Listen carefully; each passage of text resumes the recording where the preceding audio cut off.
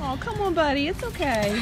This dog was shivering and scared as a firefighter helped it up a ladder to safety. The golden retriever was spotted struggling in icy water. Watch as the fireman carries the dog over the creek to bring it to a warmer place. Firefighters say the canine was microchipped but not registered to an owner. Its rescuer says if no one claims it, he'd like to adopt the dog. Stay here. Come here. This is InsideEdition.com.